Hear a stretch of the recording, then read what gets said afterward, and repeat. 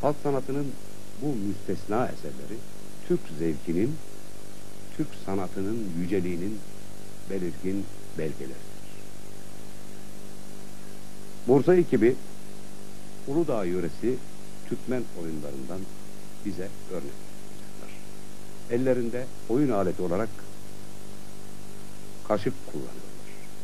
Kaşık yekpare ağaçtan yapılmış, ucunda tonguldak denilen bir parça var. Şimdi Bursa ekibinden Menevşe ve Azine'yi seyredeceğiz.